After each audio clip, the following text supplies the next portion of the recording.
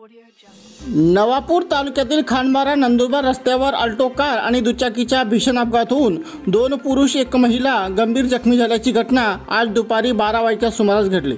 सविस्तर वृत्त असे की खडकीहून बजाज कंपनीची एम एच एकोणचाळीस ए एच एक्क्याण्णव पन्नास मोटरसायकल चालक परवीन बकाराम सूर्यवंशी वय बावीस हा मुलगा व त्यांची आई सविता बकाराम सूर्यवंशी सोबत नंदुरबार येथे दवाखान्याच्या कामासाठी जात असताना भादवड गावानजीक समोरून येणारी अल्टो कार क्रमांक एम एच एकोणचाळीस जे एकसष्ट शून्य सात यांच्यात समोरासमोर धडक झाल्याने सविता बकराम सूर्यवंशी परवीन बकराम सूर्यवंशी राहणार खडकी तालुका नवापूर व दिनेश विनायक पाटील वय चाळीस राहणार नंदुरबार हे तिघीजण गंभीर जखमी झाले आहेत.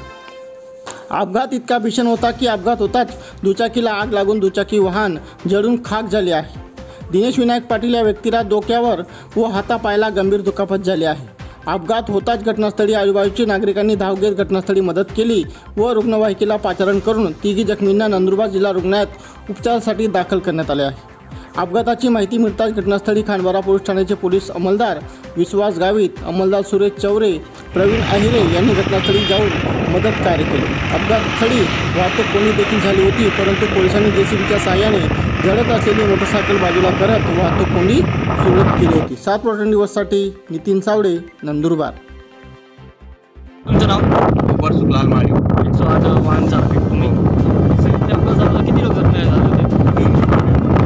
कुठे मार लागली होती फोर व्हीलरवाला पूर्ण रक्तभवन आहे बेशुद्ध आहे. हां. आणि एक लेडीज आहे तिला पाठीमागे लागलेलं आहे त्याचा.